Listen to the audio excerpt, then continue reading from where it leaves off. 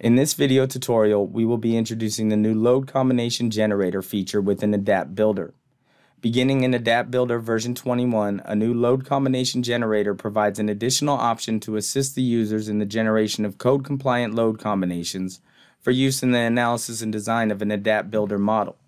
The load combination generator is implemented for all design codes available within Adapt Builder and can reverse earthquake and wind loads at your discretion. It also includes options to add ASCE compliant load combinations for most ACI codes. On the screen, we have the Adapt Builder version 20 multi-level tutorial model. We have already defined wind and seismic loads in the model through the use of the Wind Load Wizard and Seismic Load Wizard. We can open the load combination generator through the loading ribbon, load combination icon. In the combinations window that opens, we have the option for LC generator button in the lower left, next to the calculate long-term factors button. For more information on the new calculate long-term factors button, please refer to the help menu or to videos on this on this feature on our YouTube channel.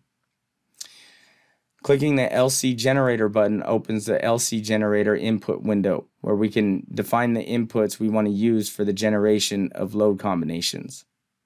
At the top of the window, the code is listed.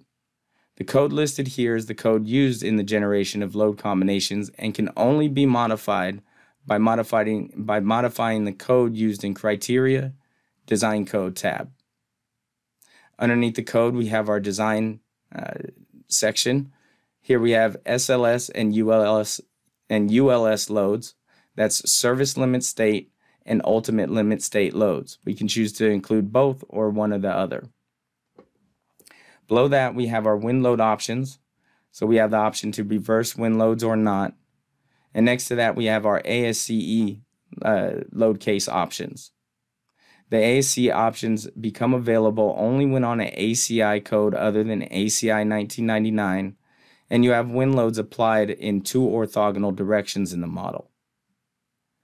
The options here are to evaluate the effects of wind separately, x and y separately, evaluate the effects of wind x and y with eccentricity, so including the moment due to eccentricity, evaluate x and y combined, or evaluate x and y with eccentricity, combined with eccentricity. Below this, we have our seismic load options. And again, we can choose to reverse the effects of seismic loads or not. And we have our ASCE options for seismic loading with this option here. If we go ahead and click the add button after choosing or after making our selections, the program will automatically populate the load combination window with load combinations based on our settings from the load combination options window. We can see that we have our wind load cases are included in the combinations. So they get combined, the wind uh, axial and moment get combined into one wind, wind load case or combination. And then the combinations below will then uh, refer to that load combination. And these, these factors are the correct load factors for the combinations and code chosen. Down below, we can see that we have EQ loads also included in this load combination list.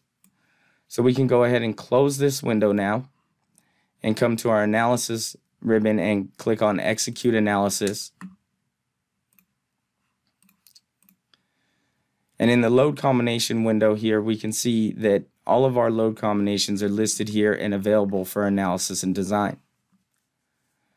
For more information on the load combination generator, please refer to the help menu or the help file. The help file can be located through the help menu by clicking on the help icon. And this will open our help menu. And on the left hand side, we have topics. The load combination generator can be found in loading ribbon, load combinations, and LC generator. This topic is a more detailed topic on the use of this tool. Down below, we also have our tutorial files. So if you're interested in using the model from today's tutorial, you can download that here. For more information, please visit the RISA website at www.risa.com or email us at adaptsupport at risa.com.